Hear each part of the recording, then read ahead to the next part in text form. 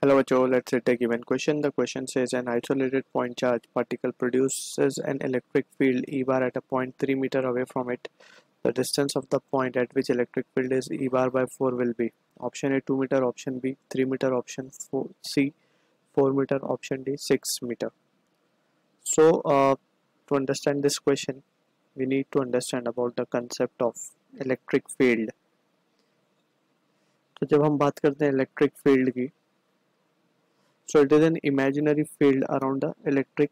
charge अब ये field की जो इंटेंसिटी है that can be calculated using the result let suppose हमारे पास एक चार्ज है कैपिटल क्यू ठीक है plus Q and in this near to this charge हम एक टेस्ट चार्ज लेके आते हैं क्यू नॉट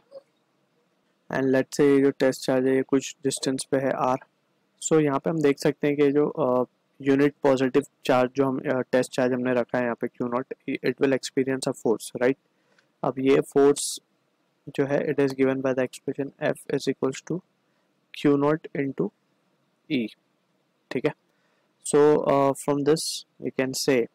कि जो ई e है that is electric field intensity इसकी वैल्यू आ जाएगी एफ़ अपॉन क्यू नॉट अब एफ़ बाई कूलम्स लॉ हम क्या लिख सकते हैं? K Q Q not upon r square into Q not so ये रिज़ल्ट हमारे पास क्या आएगा? K Q upon r square so this is what the result we need to keep in mind regarding the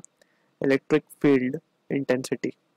that is K Q upon r square for a point charge जो कि uh, किसी distance पे अगर हमें electric field निकालनी हो उस point charge की वजह से जो कि प्लस कैपिटल क्यू हमारे केस में सो रिज़ल्ट होगा K Q upon r square so using this result will try to answer the question तो हमें यहाँ से हम देख सकते हैं के और Q for a charge particular it will be a fix value तो हम लिख सकते हैं E one upon E two will be equals to r two upon r one the whole square right अब ई वन हमें given है E e, और ई to हमें गिवन है ई बाय फोर राइट जैसे in terms of magnitude we are writing r two हमें पता करना है। आर वन हमें गिवन है थ्री स्क्वायर सो यहाँ से हम देख सकते हैं ई e तो कैंसिल हो जाएगा। So from here we can say